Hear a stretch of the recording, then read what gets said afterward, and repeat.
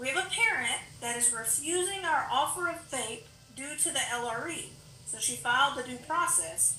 Can you explain how this? Yeah, so I mean, the parents have the right to not agree with you. Disagreeing with people is the human experience. I don't know if you know that. Did you know there's nobody in the world that you agree with? 100%. If you don't know that, just start your own TikTok channel, right? So we believe, I mean, I'm sure that you believe as a, a, staff, however you came to that conclusion, that that's the most appropriate offer of FAPE. She disagrees with it. So she has a right to exercise her procedural rights and safeguards, and one of those rights is to bring forth complaints in a due process hearing. One of the secondary rights is to have that heard before a hearing officer. So, A, she has the right to bring forth the complaint, and then she has the right to present it at a hearing.